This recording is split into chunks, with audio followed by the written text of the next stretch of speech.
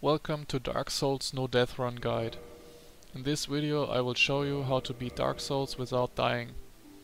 The run takes 2 hours, it's uncut, and I will give important advice along the way. Enjoy! For character creation choose Bandit and take Master Key as a starting gift. The Master Key is absolutely required since it opens important shortcuts which are otherwise not passable.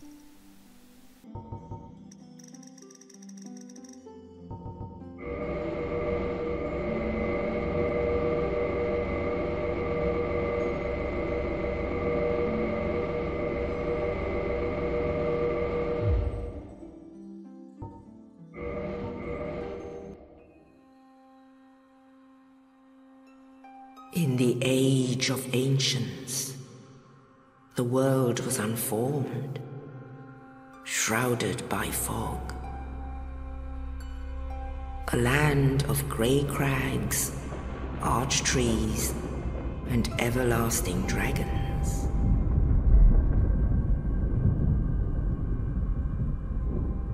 But then there was fire, and with fire came disparity. Heat and cold, life and death, and of course, light and dark.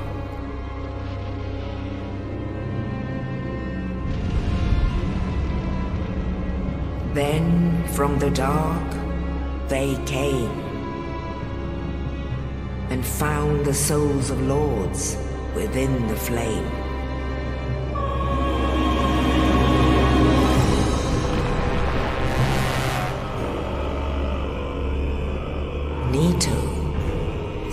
Of the dead.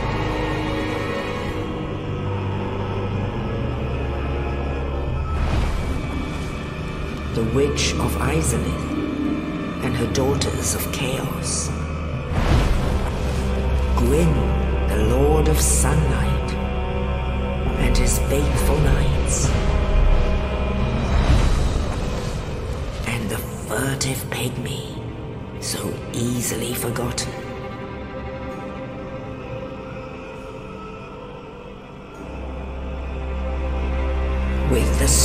Of lords, they challenged the dragons.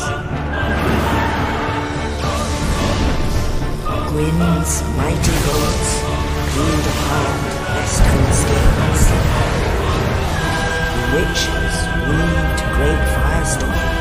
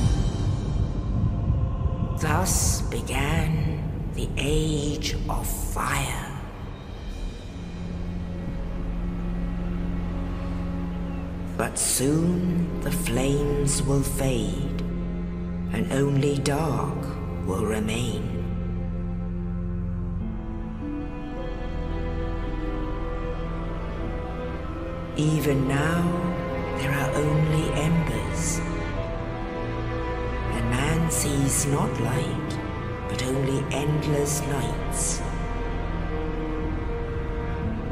And amongst the living are seen carriers of the accursed dark sign.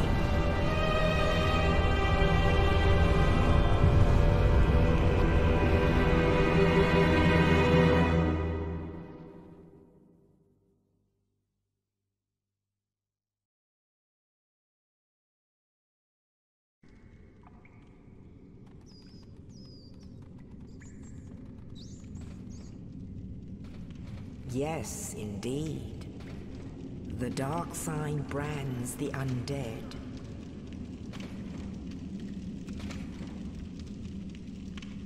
And in this land, the undead are corralled and led to the north.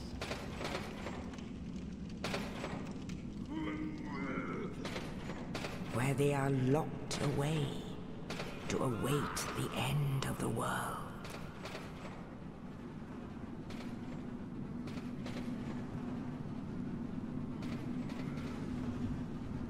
This is your fate.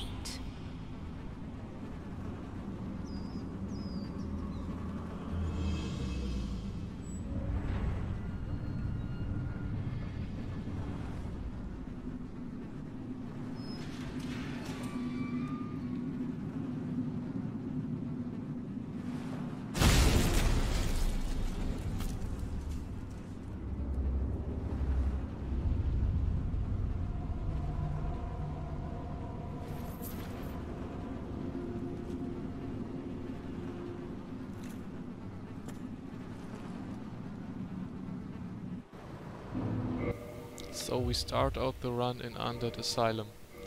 The goal is to grab the starting gear and defeat Asylum Demon.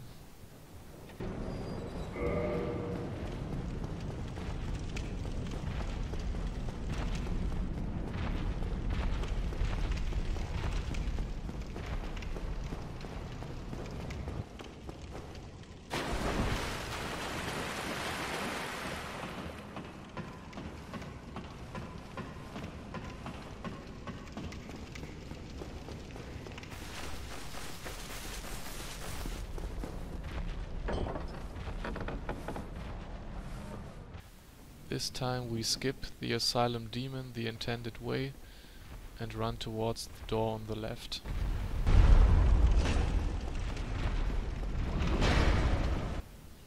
In the corridor we grab our shield, which is the spider shield, dodge the arrow from the hollow, either by walking around it or rolling through, and then grab our weapon, which is the battle axe.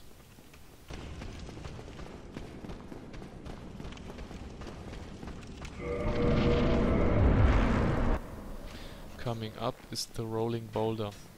Stay near the wall and turn early to avoid it. Regrettably, when now I must bid and thank you. After we do a running attack at the hollow on top of the stairs, we run through the door, kill the other two sword-wielding hollows, and progress towards the boss.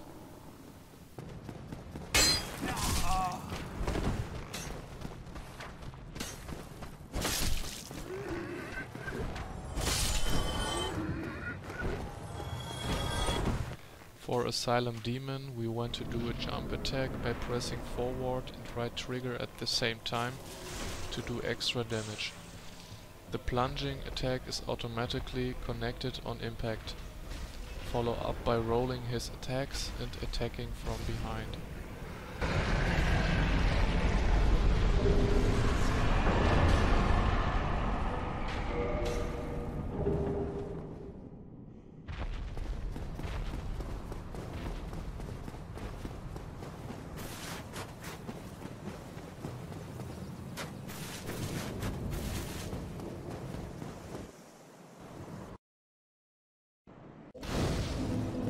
In Shrine we grab humanity and progress towards Undead Burg.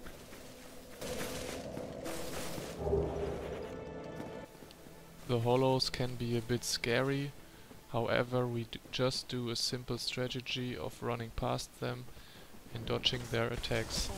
To get past the hollow on the upper stairs, we stay close to the wall to create space on the right and then use this space to roll past him. Arrived in Undead Burg, the goal is to get Gold Pine Resin, kill Taurus Demon, pass Havel's Tower, get Grass, Crest Shield and Longbow. Then get the Firekeeper Soul, craft plus 5 Battle Axe, kill Gargoyles, ring the first bell, get items in Firelink Shrine, kill Lautrec, for Ring of Favor and Protection and reinforce Estus. There is a bunch of hollows in this open space. the goal would be to dodge the arrows and wait a bit for the latter to come out, such that we can run through toward the bonfire.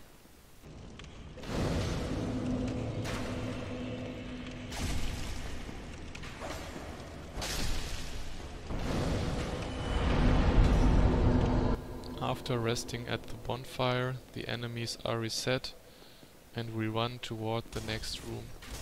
In this room we want to kill the two axe-wielding hollows and then wait for the hollow soldier to let us pass.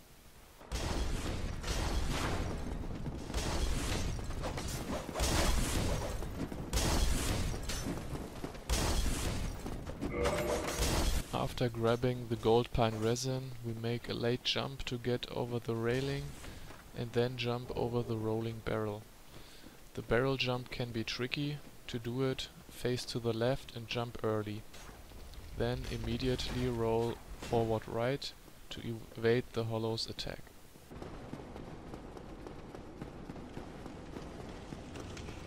We kill Crystal Lizard to take advantage of a potential Titanite chunk drop, however it is not mandatory to do.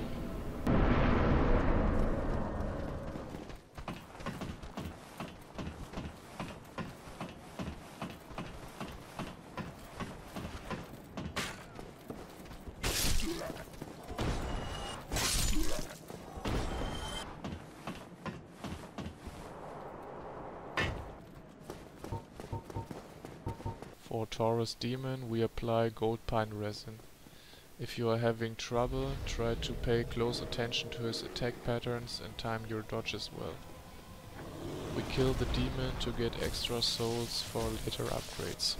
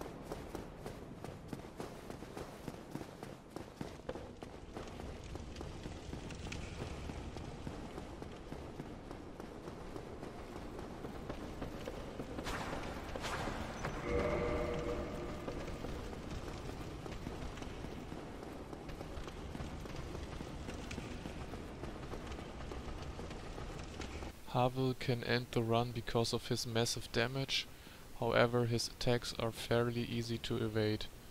We drop down the ledge right before him, so he follows us and his attack animation is interrupted.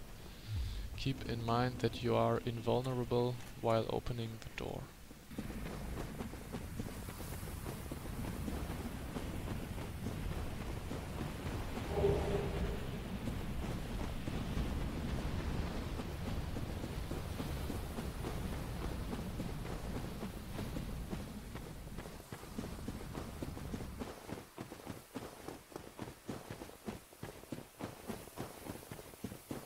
So we drop down to get the grass crest shield. To deal with the Black Knight, you want to run by his right side and dodge when he attacks. In this example I make a mistake and roll too late.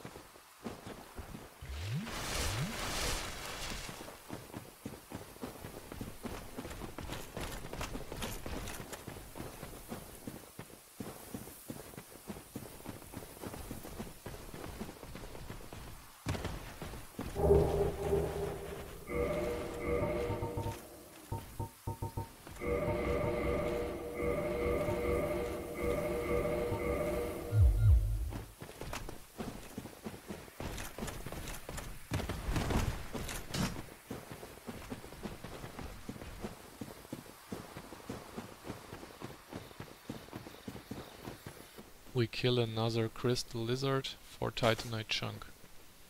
This run I get lucky twice. Again, killing the lizard is not mandatory.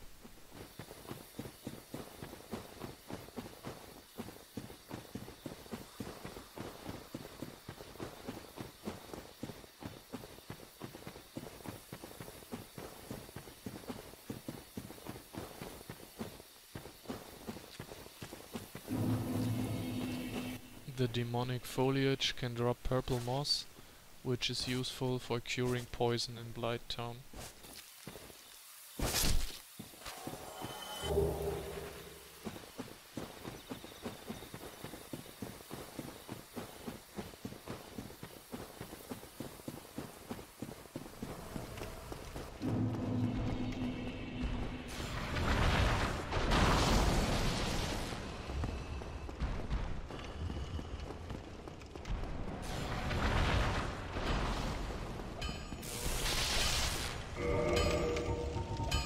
take off some equipment to stay below 25% equipment burden.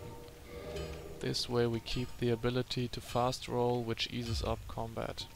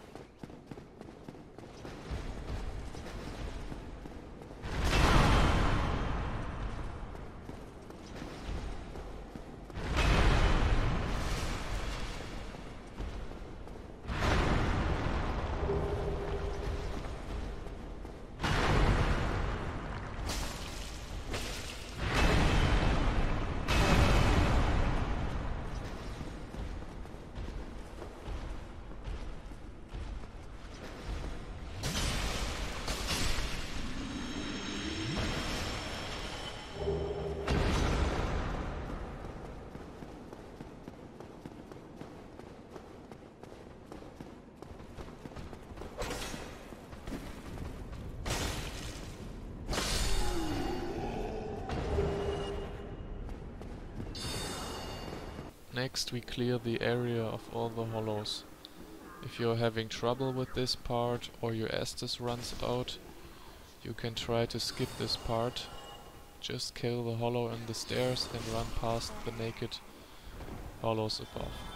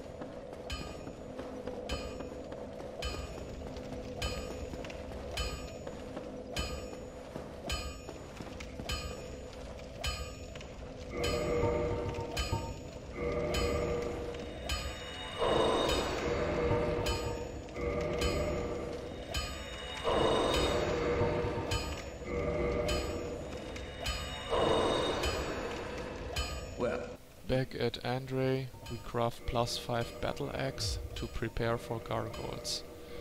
Not resting at the bonfire allows us to safely traverse the area without enemies.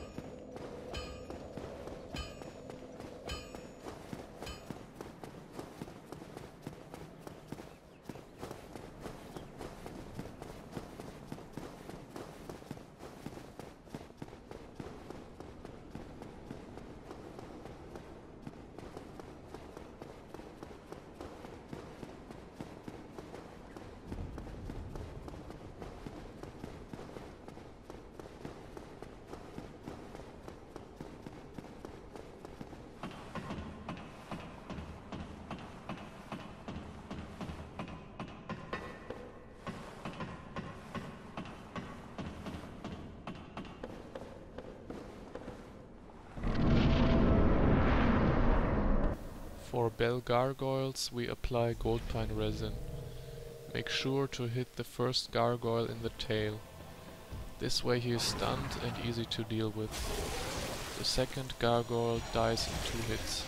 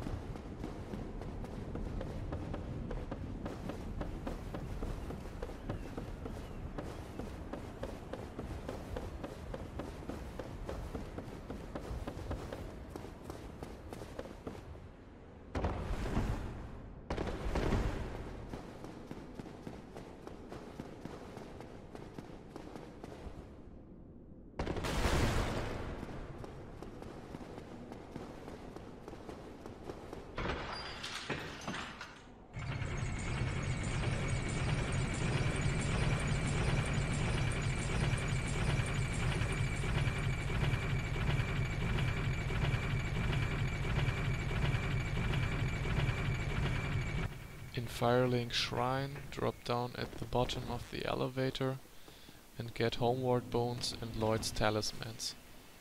Now is also a good time to get the 6 fire bombs, however I happen to forget it and come back later.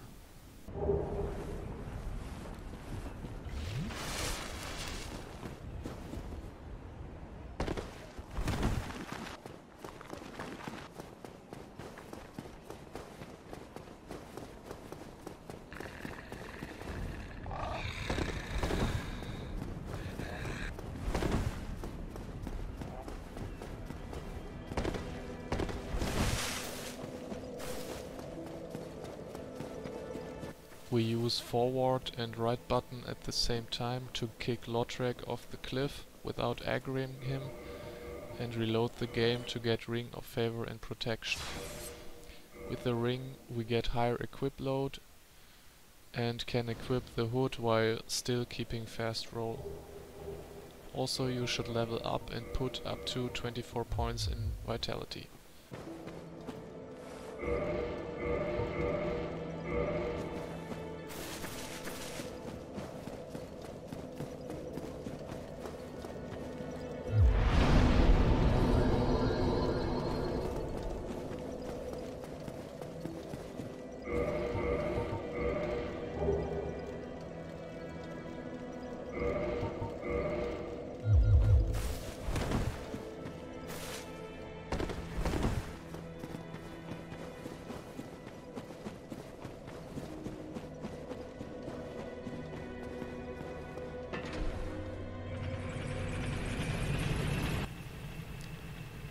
Upcoming segment is Blighttown. The goal is to get Chloranthy Ring, kill Quelaag, ring the second bell and kill Ceaseless Discharge. We want to preserve Estus and not rest at any bonfire to be able to warp back to Firelink Shrine with the homeward bone after we are done in Blighttown. After warping back to Firelink Shrine we will buy 50 large arrows from Andre and level up. The infested barbarians can just be run past. There is only one attack which can hit you. It is a fast swing from the top right to the bottom left. If they happen to do this attack, evade it with a well-timed roll.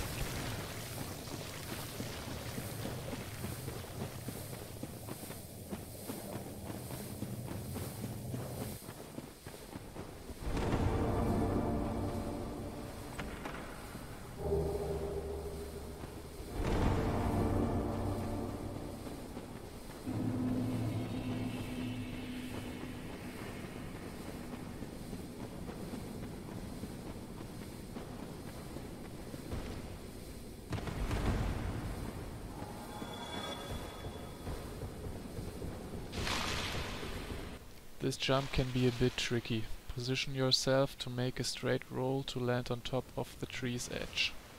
Equip the ring after getting it.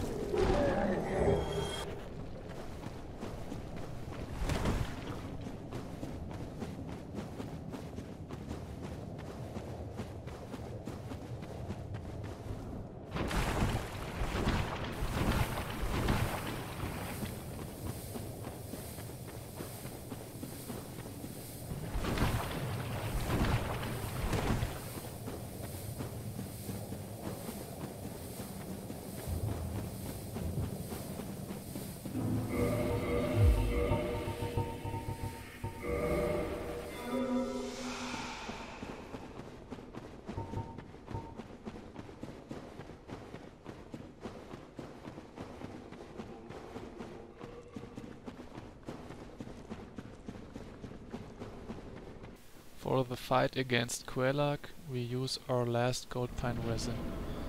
If you are low on Estus, you may want to heal up using humanity. When she jumps at us, we roll to evade damage. The strategy for this fight is to pay close attention to her attacks and position ourselves so that we don't end up in the lava. When she does the sword attack, we can dodge it by walking as close to the spider's head as possible. In this safe spot we can even place an attack. The third swing is a thrust and should be dodged to the left or the right. Make sure to stay high health throughout the fight to make sure her blast attack doesn't kill you.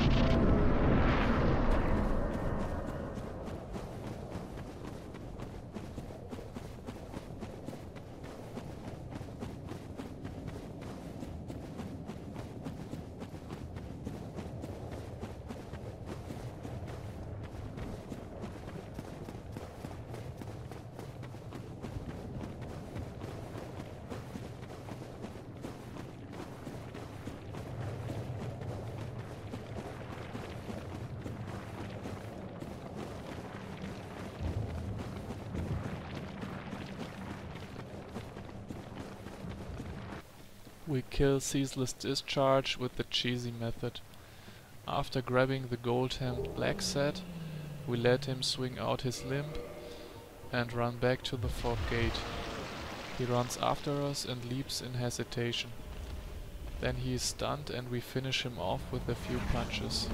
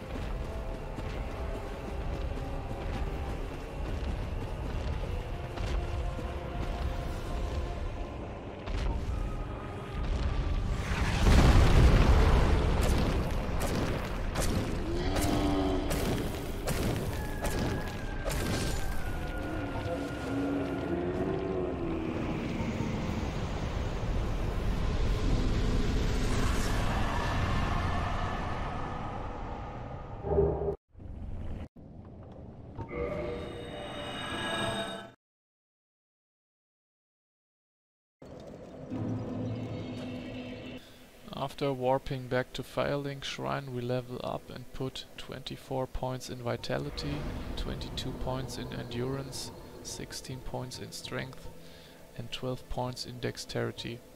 Also we equip the Gold-Hemmed Black set. With our high endurance we can afford to put the whole set and keep fast roll.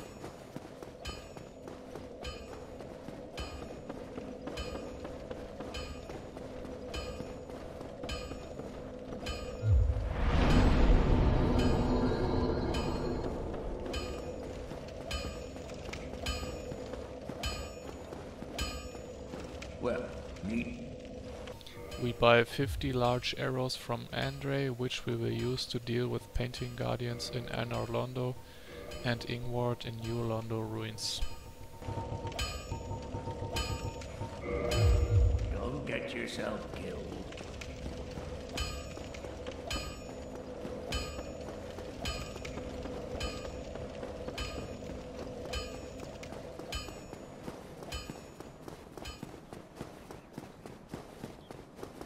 Next segment is Sen's Fortress. The goal is to get Lightning Spear and kill Iron Golem. To get safely past the swinging axes, wait for the first one to swing back and then immediately run through and stay on the opposite side of the axes respectively. To avoid the Serpent Soldier, simply run in a straight line toward him and set course slightly to the right when close before him. On the bridge with the Serpent Mage, wait for him to shoot out, out his first shot, then position between the axes for the second shot. At the end, run past him and let the arrow trap finish him.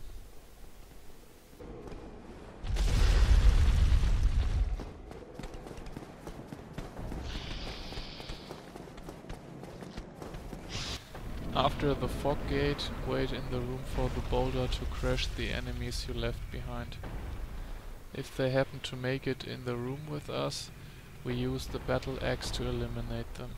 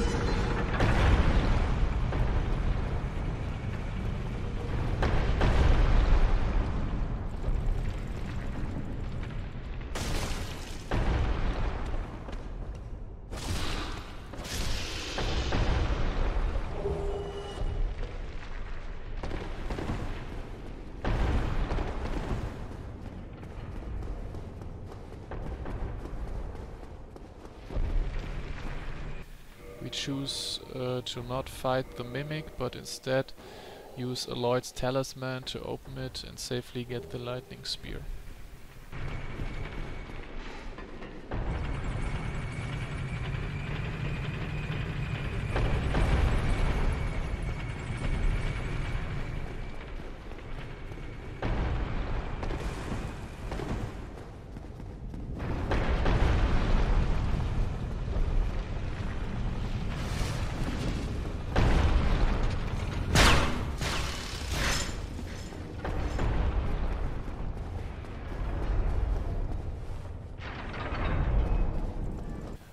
Normally the serpent, serpent mage would stand at the wall of the staircase and you would do a running attack at him.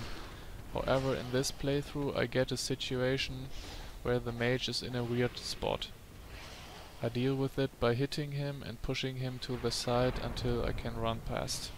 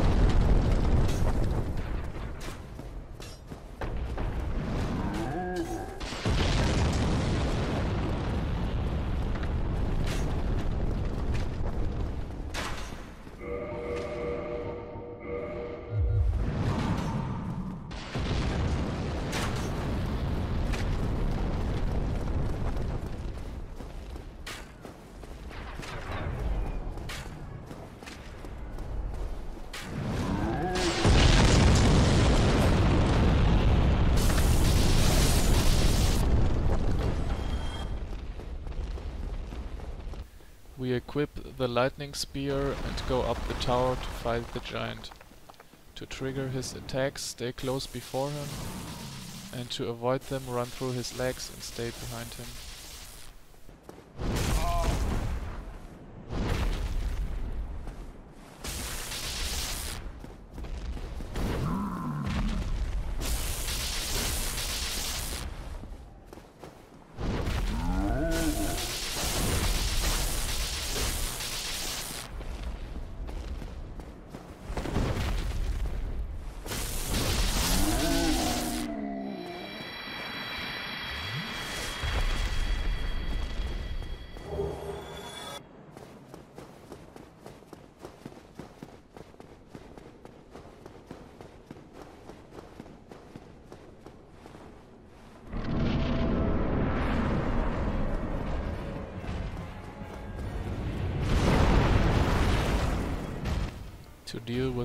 Golem, we run through his legs to evade his attacks and then poke him with the lightning spear.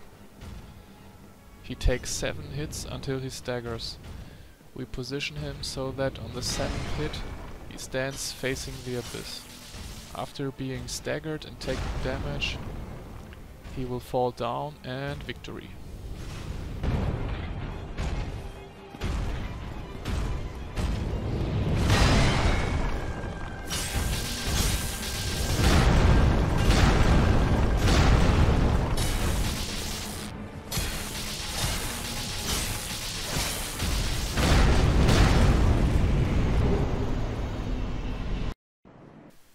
Next segment is Anor Londo. The goal is to get Demon Titanite, grab the Crystal Halberd, Havel's Armor, and the Occult Club, which we craft into Divine Club plus 5. Also we will kill Ornstein and Smough and place the Lord Vessel. We want to get the Demon Titanite laying in the right chest. To do this safely, we kill the sentinels one by one. Battle axe is preferred for this. To pull only the first sentinel, stand right at the edge of the Great Pillar. Keep in mind that they will stagger after two consecutive hits.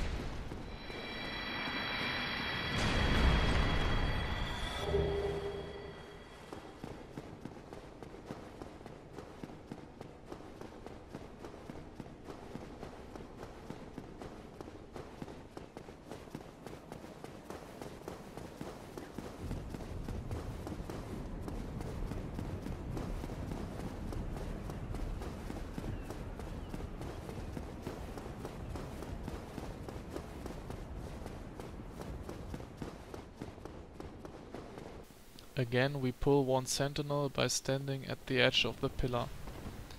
After eliminating the second one, we use Aloyd's talisman the mimic to get the crystal halberd. This weapon gives us a big increase in damage at this point.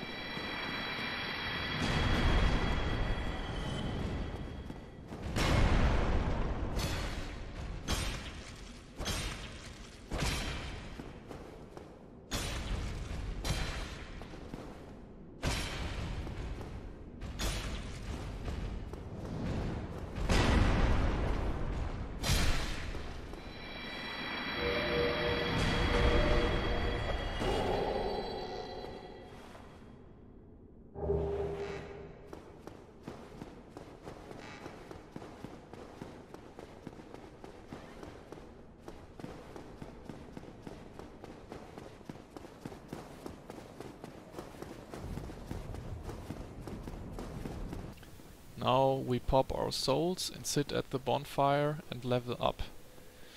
We put 28 points in vitality, 24 points in endurance, 20 points in strength and 12 points in dexterity.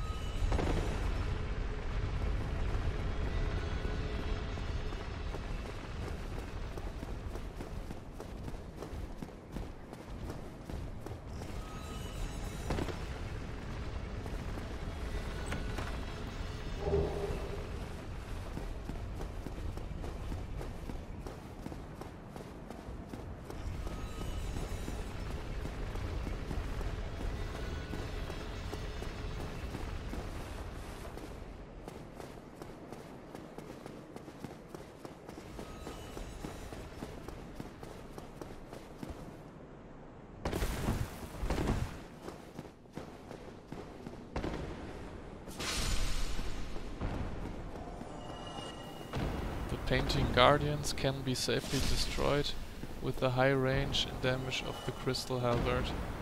To make our life easier on the small walkway on top, we use the longbow to pull the Painting Guardian towards an area where we want to fight them.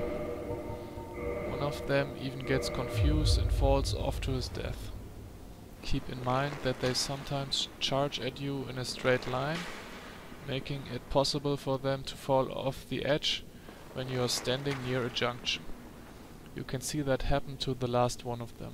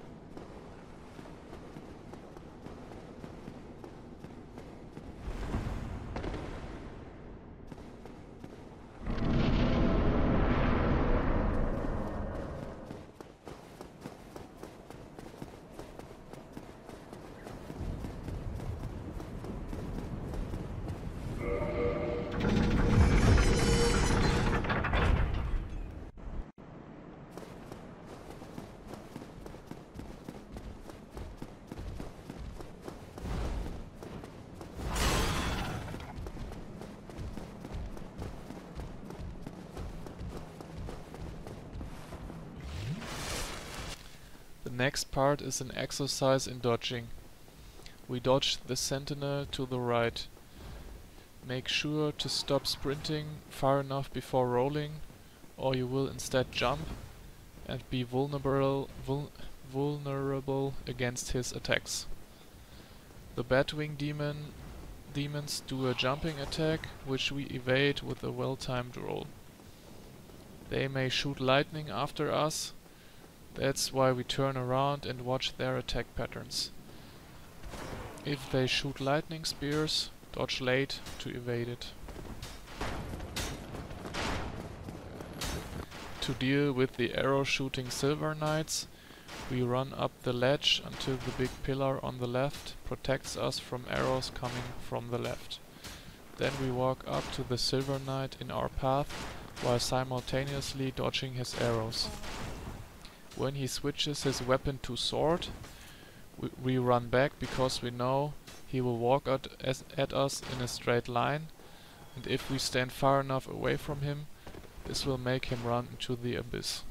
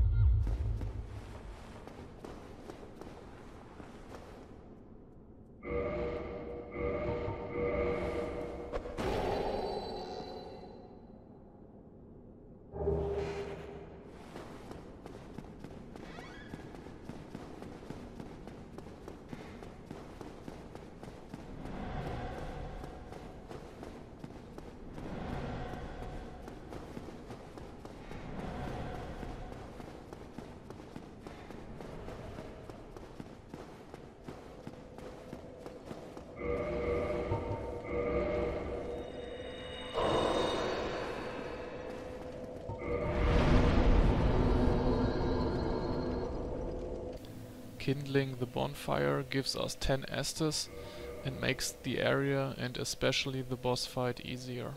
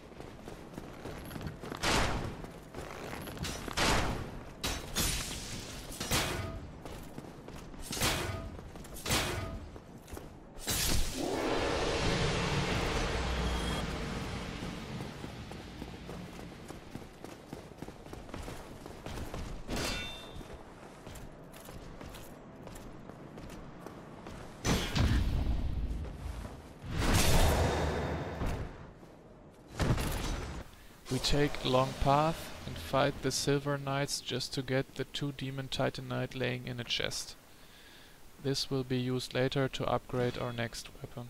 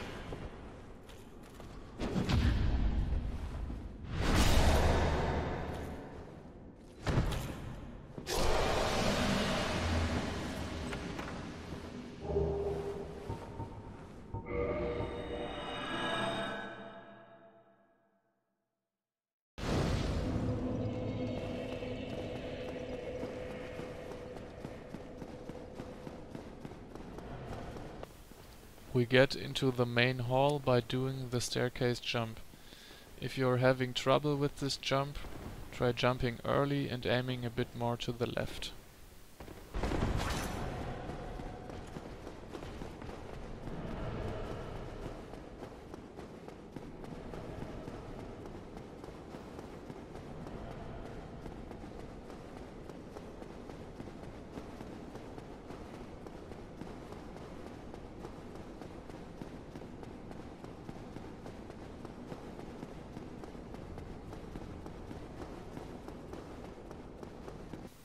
At the giant blacksmith we use our collected titanite chunk to upgrade our crystal halberd.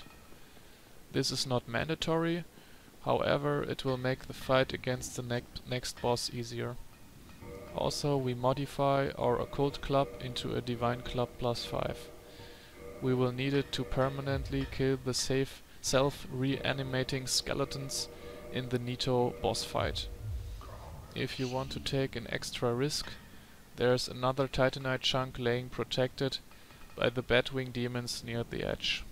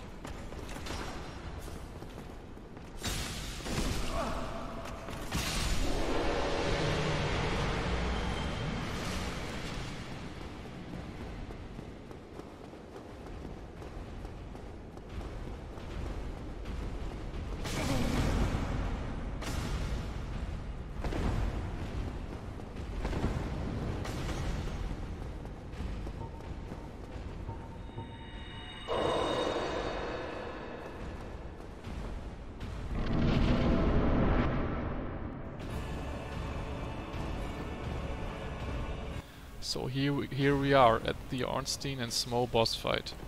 The strategy is to kill Ornstein first. We keep our distance towards Smough and always try to put a pillar between us and him. While doing that, we closely watch Ornstein's attack pattern and punish him whenever his defense is open after one of his attacks.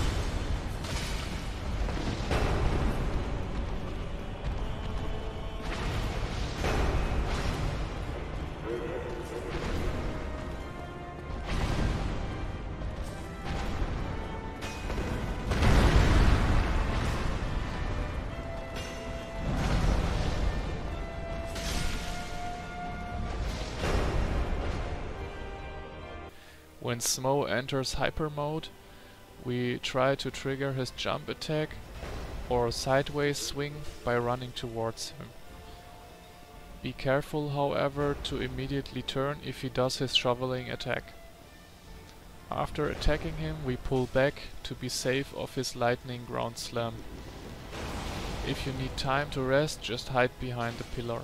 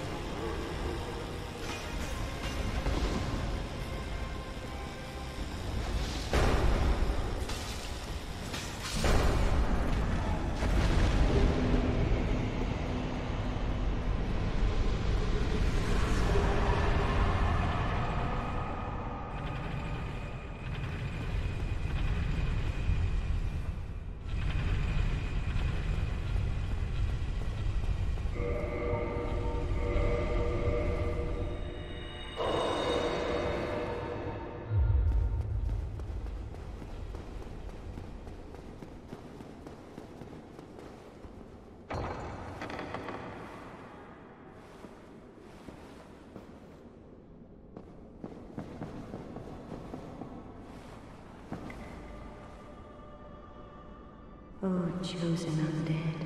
Ah.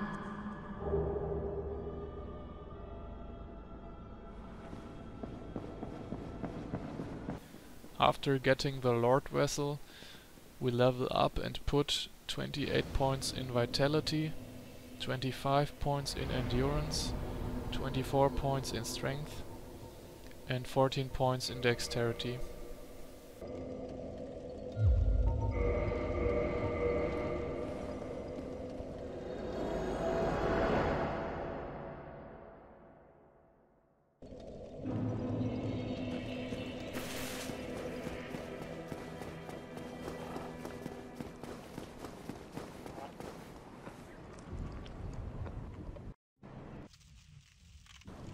This is the fire.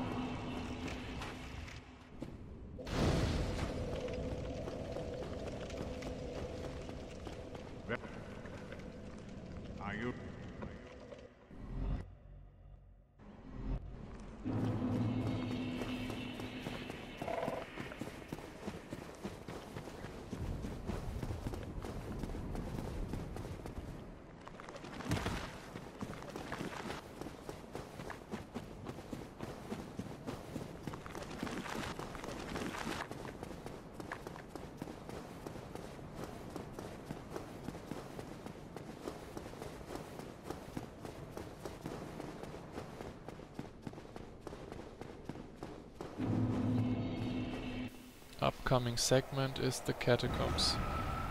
The goal is to kill Titanite demons for more Demon Titanite, get the Gravelord sword, kill Pinwheel, and upgrade the Gravelord sword to plus 4.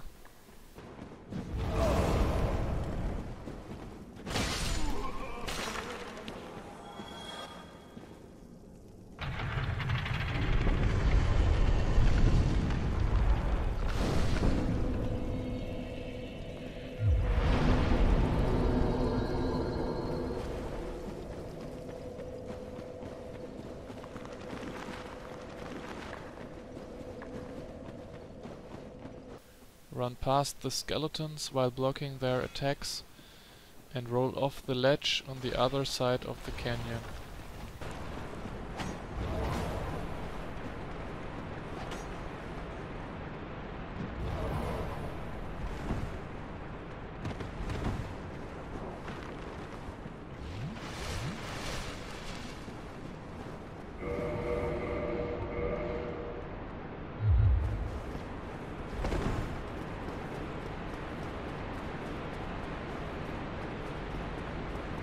To fight the Titanite demon, we equip Spider Shield, block his attacks, and immediately after blocking, lower defense to regain stamina. Between his attacks, we hit him to get damage in. Make sure not to be hit by his slow grab attack, it will deal high, a high amount of damage. After fighting the demon, we pick up Eyes of Death climb into the coffin to enter Gla Gravelord Servant Covenant and get the Gravelord sword.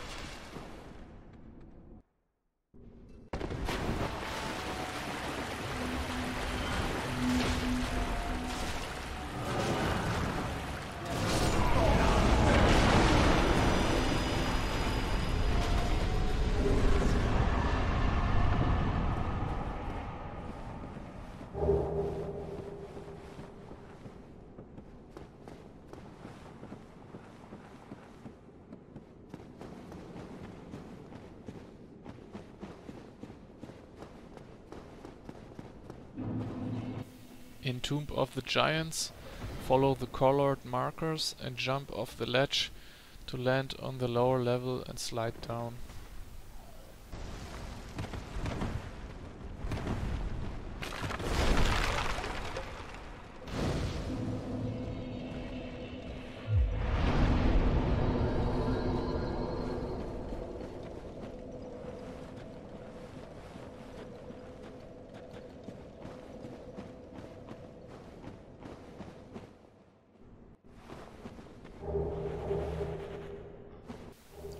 After grabbing the Skull Lantern, we teleport back and warp to Undead Parish to kill the other Titanite demon and upgrade the Gravelord sword to plus 4.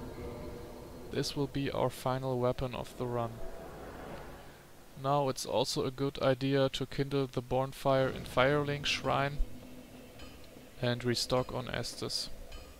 I miss out on that for now.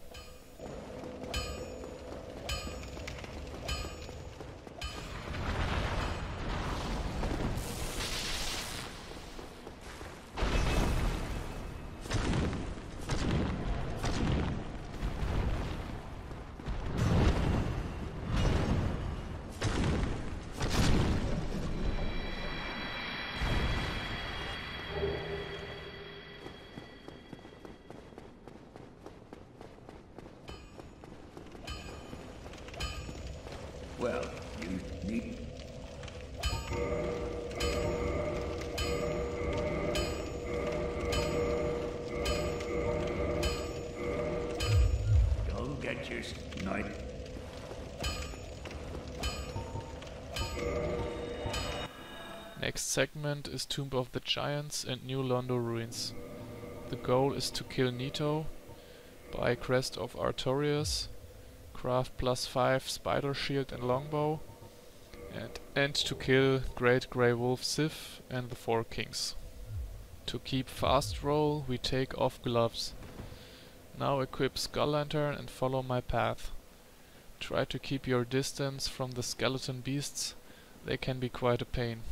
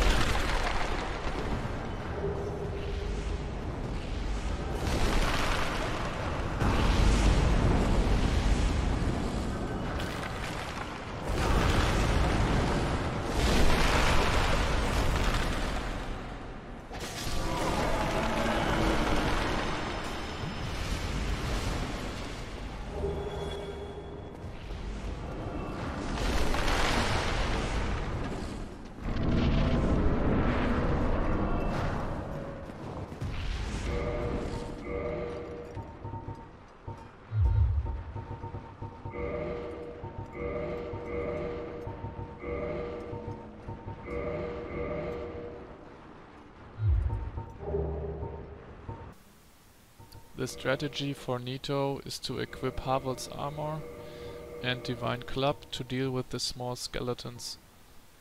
Then, when they are done, unequip armor and equip the Gravelord sword to fight Nito. Position on the opposite side of his sword so that his attacks won't hit you. I if he happens to grab you, Repeatedly press right button and left button to negate some of his damage.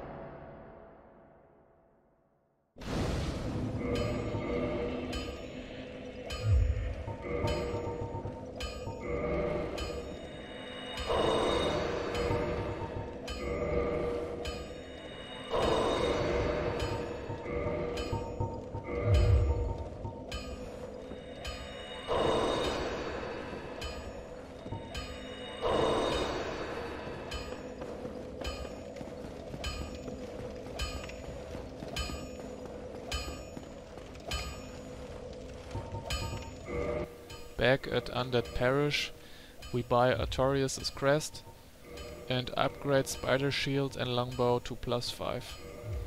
From now on all souls will be spent on leveling. The way I do it uh, is to put enough points in endurance to have at least 88.4 max equip load and put the rest into vitality. Don't get yourself killed. Neither of us want to see you go hollow.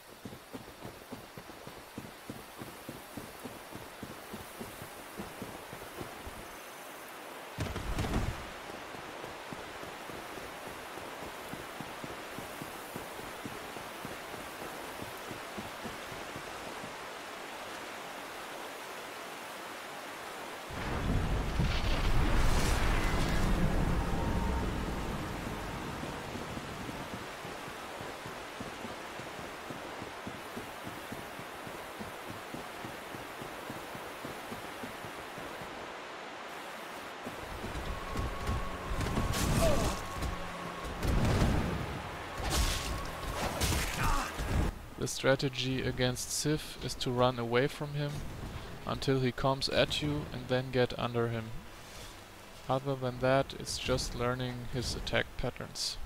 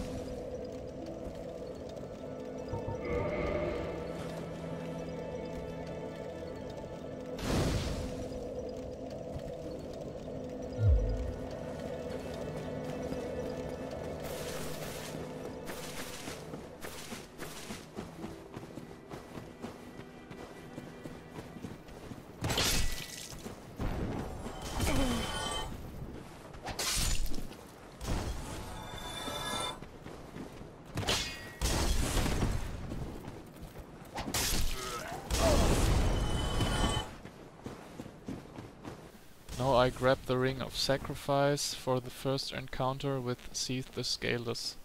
Getting the ring is optional.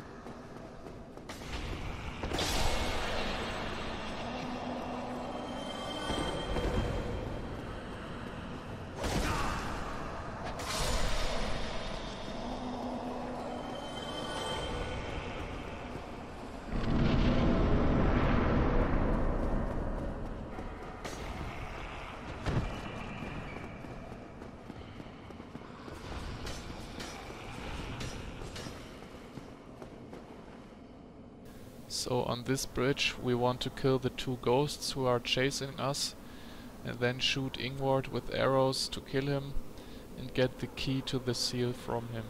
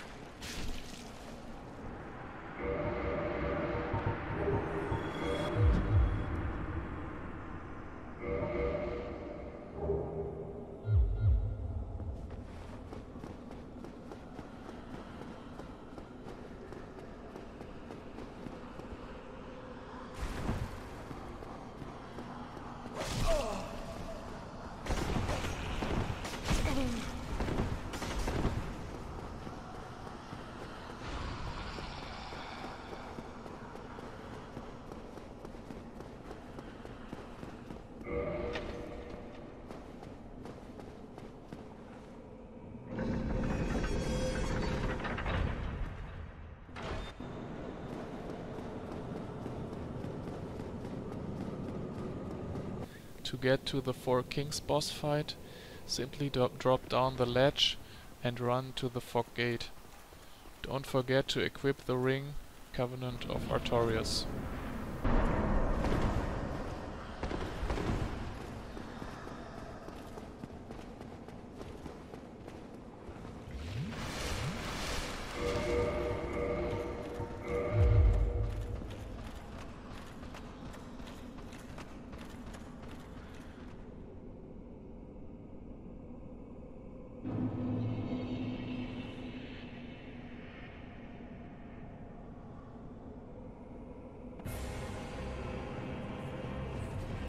Four Kings boss fight is all about stamina management. Make sure to always have enough stamina to dodge their attacks. Other than that, the fight is fairly simple, because we have enough damage to kill each king before another one spawns. If a king happens to shoot a magic bullet, just tank it with your shield.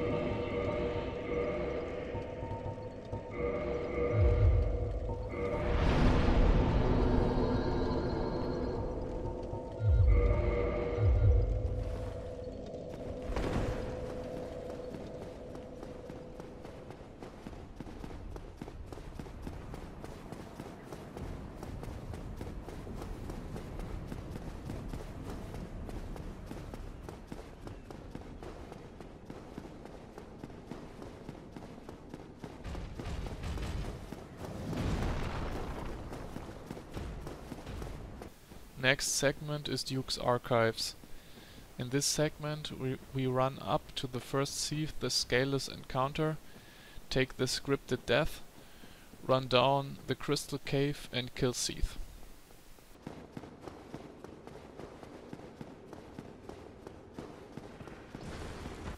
Simply roll through the first boar and run around the second one on the left side.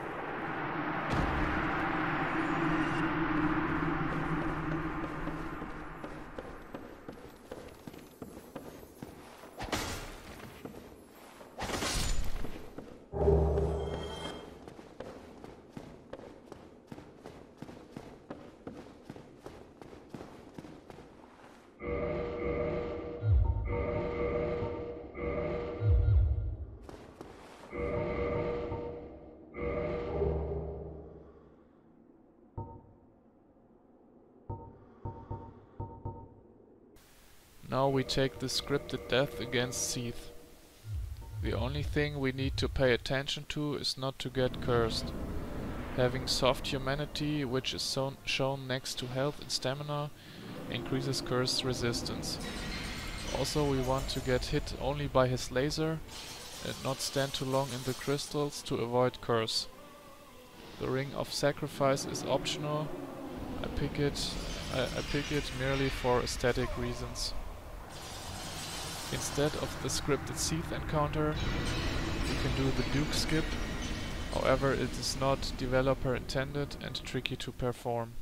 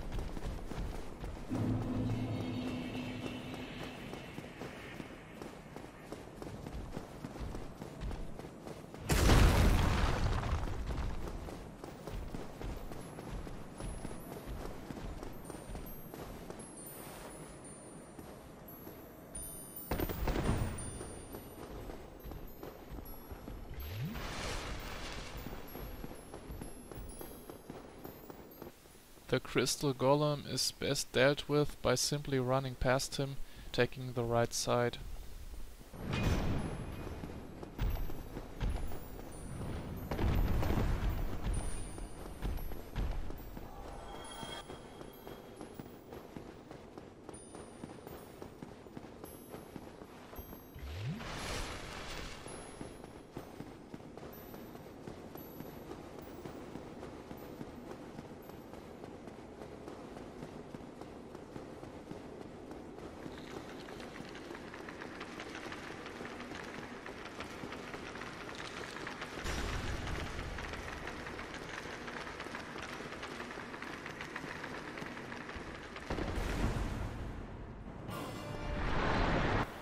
In the fight against Seath the Scaleless, we first destroy his life crystal.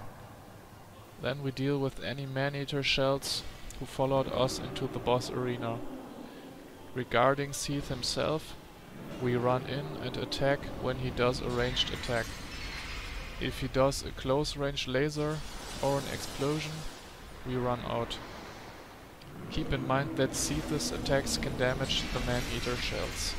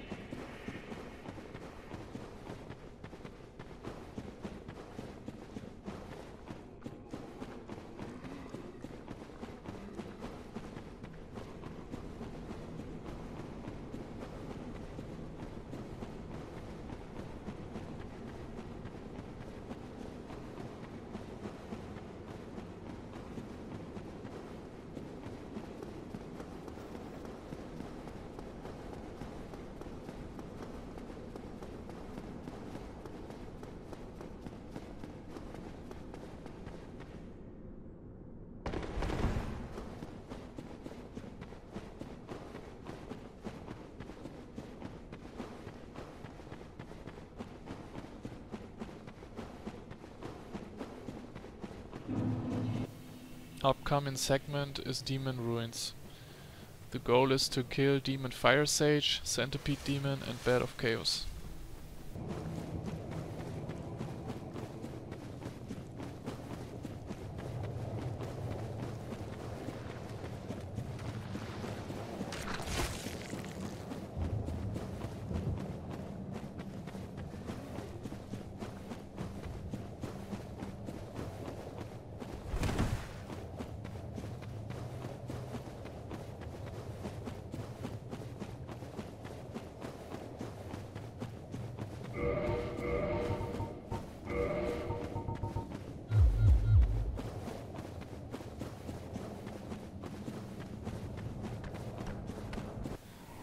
The annoying Capra demon, there's a hole in the walkway on the right side.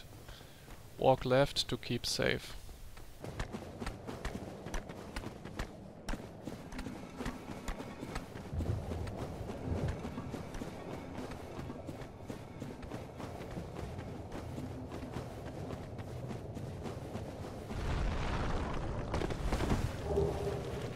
Instead of fighting the burrowing rockworm, can also choose simply to run past it.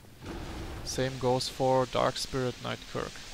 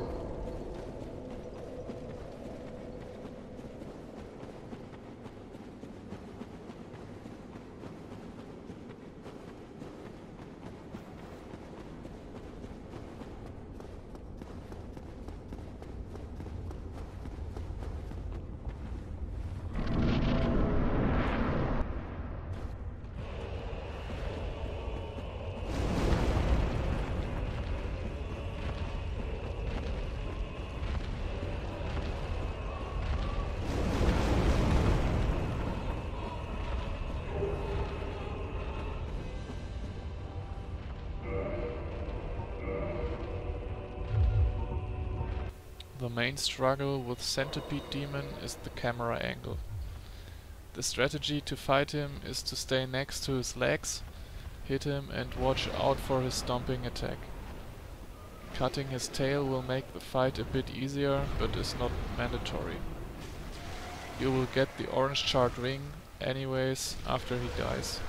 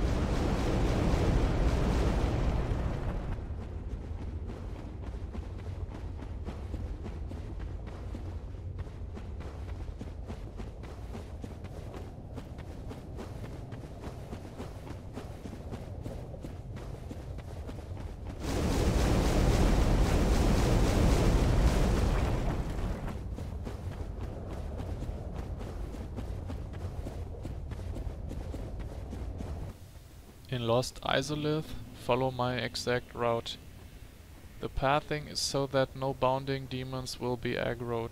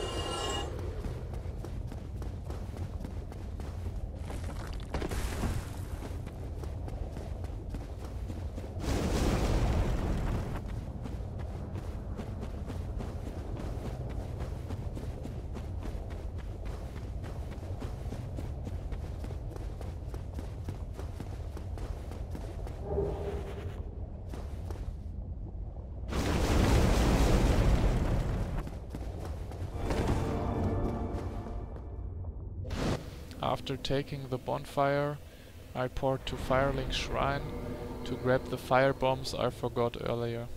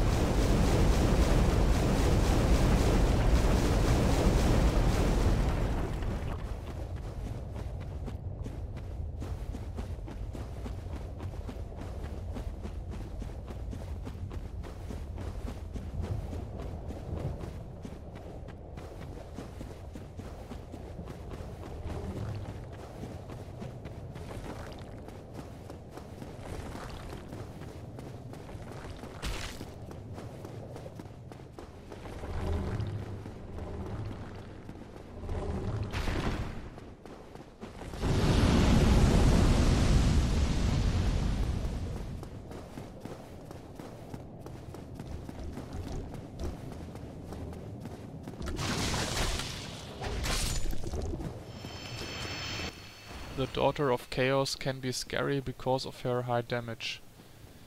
we run at her and do a running attack. This way she gets staggered before she can do an attack and we simply finish her off.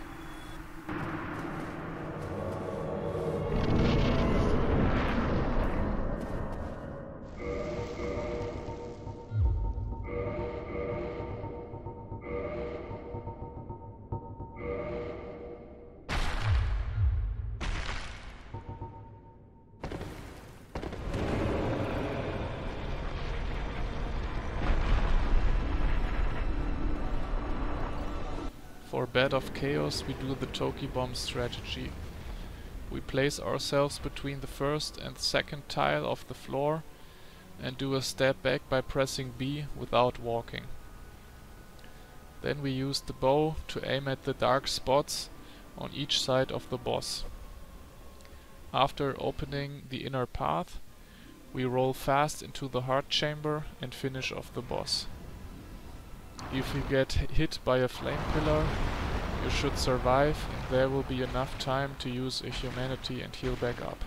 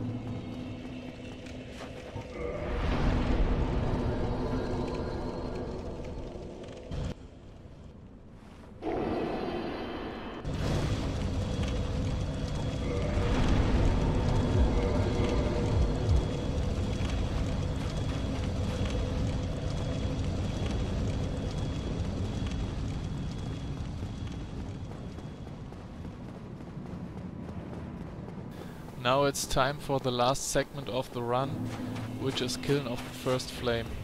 In this segment we will kill Gwyn and finish the run.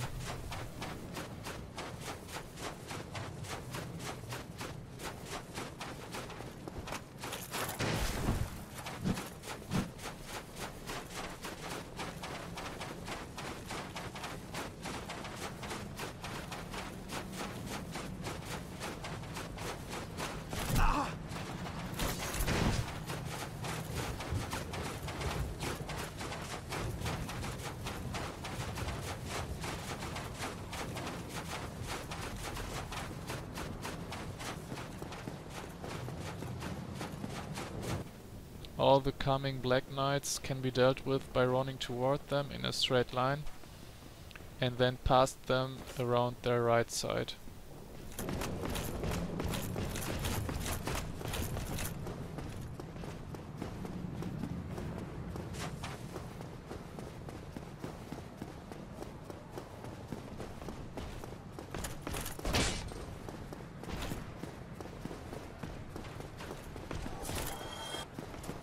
For the Gwyn boss fight we equip the spider shield.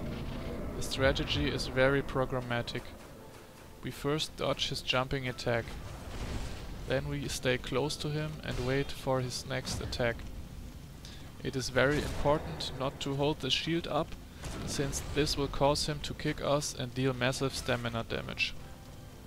Instead, we want to react quick for his coming attack. If he does a grab, roll out of it. If he does a slow attack, parry him and do a critical hit. If he does a quick attack, block the first hit and parry the second. After doing a critical hit, there is always time to circle him and get in an additional attack from behind. If you are low on health, this can be used as an opportunity to heal. After healing, Gwyn is very likely to do a slow attack. Stay close to him and repeat the algorithm until he's dead.